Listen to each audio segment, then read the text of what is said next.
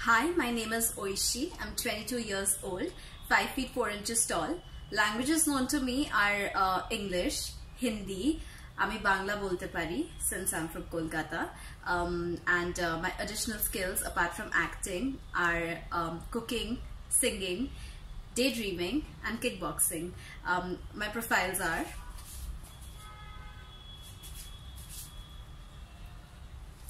Thank you.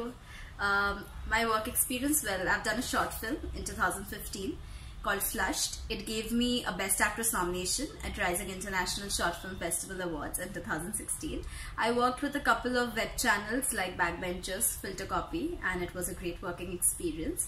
Um, then I worked in a short film opposite Bollywood actors Shweta Tripathi and Shashank Arora, which was also great. And I have workshops ऐसे attend करी है जैसे एक Atul Mongia sir के साथ Recently, Mahesh Bhatt की पाठशाला recently मैंने Mukesh Chhabra to hone my skills as an actor. Thank you.